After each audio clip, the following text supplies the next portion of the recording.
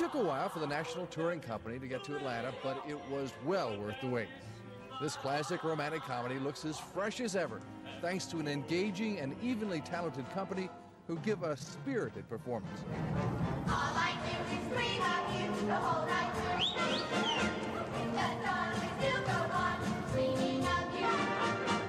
And they do justice to the fine tunes, even though they may be etched in your memory from the more leisurely paced movie.